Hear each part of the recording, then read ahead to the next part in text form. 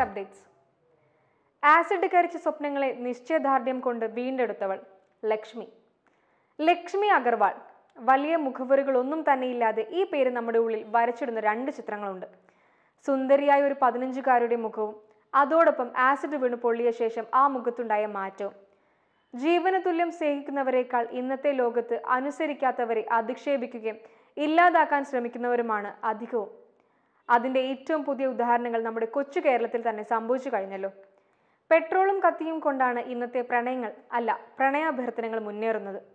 കാലം പോയൊരു പോക്കെ അല്ലാതെന്ന് പറയാൻ.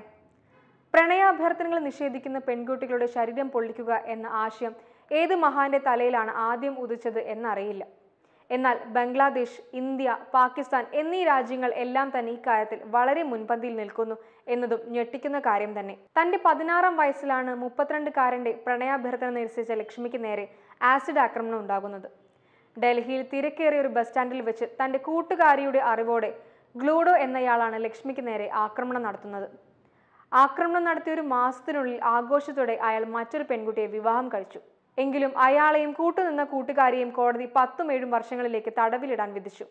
രണ്ടായിരത്തഞ്ചിൽ നടന്ന സംഭവത്തിനു ശേഷം ശാരീരികമായും മാനസികമായും ലക്ഷ്മി ആകെ തളർന്നു. ആസിഡ് ഒഴിക്കുന്ന നേര ആസിഡ് ഒഴിക്കുന്ന നേരത്ത് മുഖം മറയ്ക്കാൻ തോന്നിയത് കൊണ്ട് അവൾക്ക് കാഴ്ച നഷ്ടപ്പെട്ടില്ല. പിന്നീട് അതിജീവനത്തിന്റെ നാളുകളാണ് ലക്ഷ്മി എന്ന മിടുക്കിയുടെ ജീവിതത്തിൽ സംഭവിച്ചത്. ഡൽഹിയിൽ തന്നെ പ്രശസ്ത ആശുപത്രികളിൽ ശസ്ത്രക്രിയകൾ മുഖം വീണ്ടെടുക്കാൻ തുടയിൽ നിന്നും അരക്കെട്ടിന് താഴെ നിന്നും തൊലിയെടുക്കേണ്ടി വന്നു നൃത്തത്തിലും സംഗീതത്തിലും മികച്ചു നിന്ന ലക്ഷ്മിയുടെ വീഴ്ച പിതാവിൽ ഡിപ്രഷൻ ഉണ്ടാക്കി കുടുംബത്തിൽ സാമ്പത്തിക പ്രതിസന്ധി ഉണ്ടായി അദ്ദേഹം രണ്ടായിരത്തി പന്ത്രണ്ടിൽ നെഞ്ചുവേദന വന്ന് മരണപ്പെട്ടു.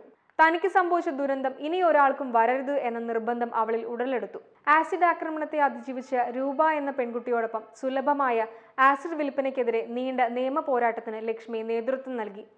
അതുവഴി വിഷയത്തിൽ കൂടുതൽ ശ്രദ്ധ നൽകി സമൂഹത്തിലേക്ക് ഇറങ്ങി സ്റ്റോപ്പ് ആസിഡ് അറ്റാക്ക് എന്ന ക്യാമ്പയിൻ നയിച്ചു. തന്റെ പേരിനൊപ്പം പോലും ലക്ഷ്മീസ അഥവാ സ്റ്റോപ്പ് ആസിഡ് അറ്റാക്ക് എന്ന വചനം കൂട്ടിച്ചേർത്തു. ആസിഡ് ആക്രമണത്തിന് ഇരകളായവരുടെ നേതൃത്വത്തിൽ നടക്കുന്ന സ്ഥാപനം ഹാങ് ഔട്ട് കിഴക്കൻ ഡൽഹിയിൽ ഇവർക്കായുള്ള പുനരധിവാസ കേന്ദ്രം ഇവയിലെല്ലാം ലക്ഷ്മിയുമുണ്ട്.